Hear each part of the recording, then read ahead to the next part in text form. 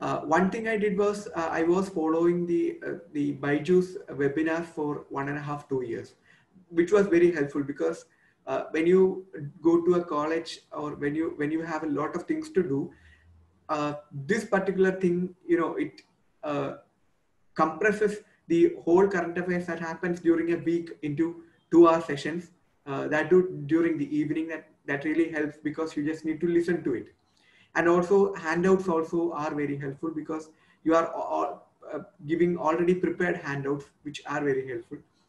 Uh, then i used to watch big picture regularly. Then pib summaries i used to uh, uh, look up regularly. All india radio news uh, it, it was very convenient for me to uh, listen to all india radio news because it does not take away anything from your time.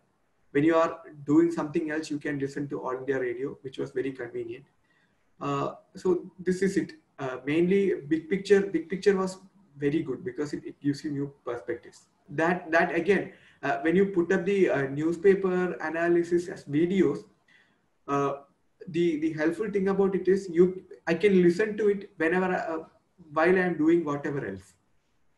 I could be doing something else. I could be traveling and I could listen to this newspaper analysis. That that uh, even if you miss one day's newspaper, this gives you the essential things.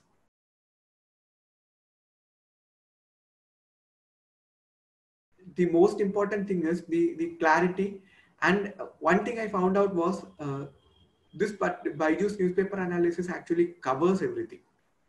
Uh, it, it does not miss out important things.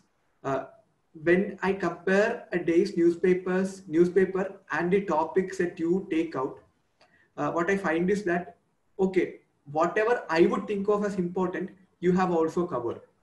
This means that uh, I can rely completely, I can trust on this particular thing.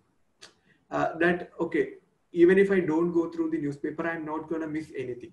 And then also the clarity with which uh, editorials, op-eds are presented, the, uh, the efficacy with which the, uh, these are summarized and the conceptual clarity it, it, it brings to the uh, the aspirant is uh, very good